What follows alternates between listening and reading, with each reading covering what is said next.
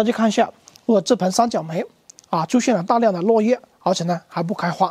是什么原因呢？一养护环境出现了问题，我们呢放在过阴过暗的环境啊，缺少光照。第二个呢，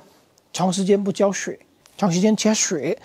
导致它严重缺水呢，就会消耗大量的养分，这个叶子呢会慢慢的干枯发黄，最后呢只剩下一个光杆。要想它快速的恢复生长，我们呢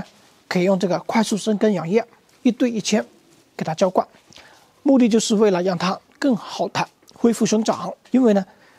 严重缺水的状态下呢，它会出现大量的空根，我们可以用这个快速生根粉给它出根，让它根系呢长得更多、更壮，更有利于它恢复生长。缺水了，我们就要给它补水，啊，一定要认真的查看本土，干了就给它浇，不能长时间加水，长时间加水呢会导致啊这种现象的发生。好了，再见。